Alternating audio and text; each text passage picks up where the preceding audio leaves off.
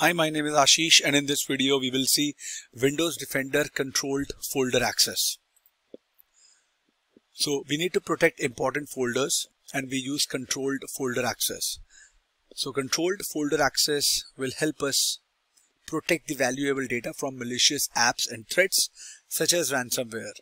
Controlled folder access protects the data by checking apps against a list of known trusted apps it is supported on Windows Server 2012 R2, Windows Server 2016, Windows Server 2019, Windows Server 2022, Windows 10 and Windows 11 clients.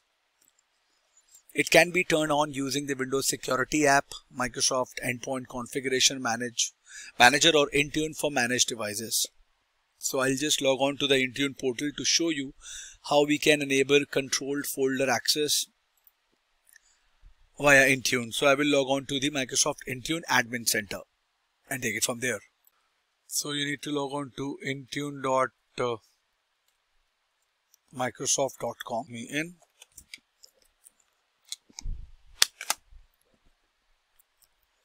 Okay, we are here at the home screen.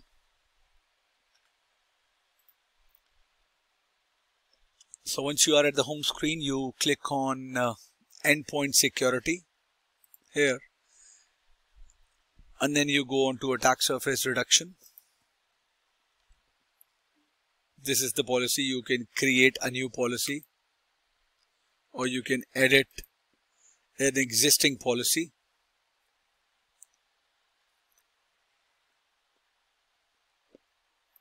Here is the configuration items that are here in this policy. We need to create when you cannot edit. So click on Windows. I want to do it for control folder access which comes under attack surface reduction rules. Click on create. In here we need to re uh, sorry name the policy. I'll just type in CFA control folder access. Under the configuration settings we need to go to enable control folder access drop down. So look for control folder access.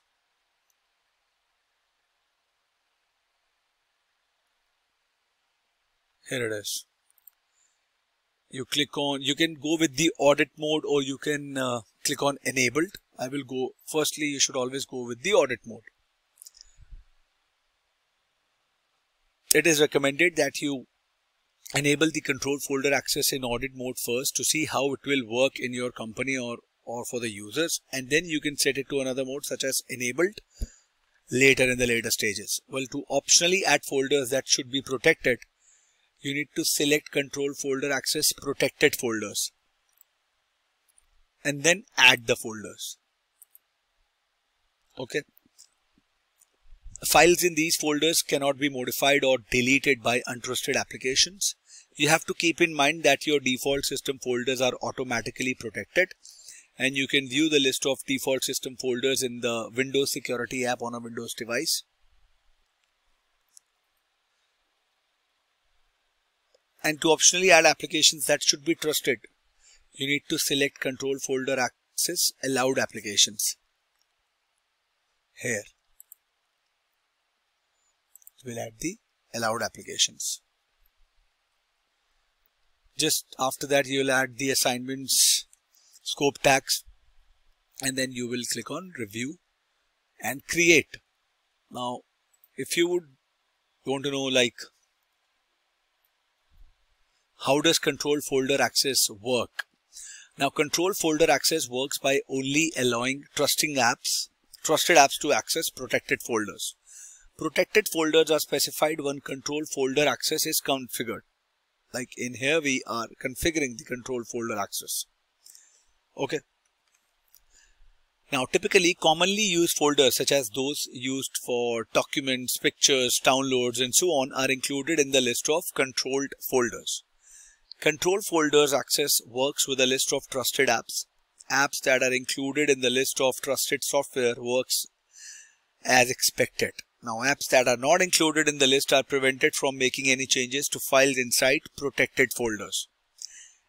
Applications are added to the list based upon their prevalence and reputation. Apps that are highly pre prevalent throughout your organization and that have never displayed any behavior deemed malicious will be considered trustworthy or can be trusted.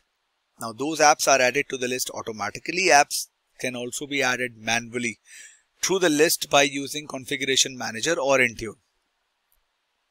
Now why this controlled folder access is important because it will help us to protect our documents and information from ransomware attacks. Now in a ransomware attack, you know, your uh, files can get encrypted and held hostage. Now with controlled folder access in place, a notification appears on the computer when where an app attempted to make changes to a file in a protected folder. We can customize the notification uh, with all the company details and contact information. Then we can also enable the rules individually to customize what techniques the feature monitors. Now the protected folders include common system folders and we can add more folders as well. The Windows system folders are protected by default as mentioned earlier which are documents, pictures, uh, videos, music, favorites. And if you want to review controlled folder access events in the Microsoft Defender portal, and it's it's a part of uh, alert investigation scenario as well, and we can also run query Microsoft Defender for endpoint data by using advanced hunting, and we can also review controlled folder access events in Windows Event Viewer. And if you want to view or change the list of protected folders, just uh, you can uh, use the Windows Security app on your Windows 10 or Windows 11 device. You just go on to uh, the Windows Security app, select Virus and Threat Protection. Under Ransomware Protection, select Manage Ransomware Protection. And if the control folder is turned off, you will need to turn that on and then select protected folders. Alright, I hope this was informative for all of you guys. If you have any further queries, please mention them in the comment section and I will see you guys in the next video. Thank you. Have a good day.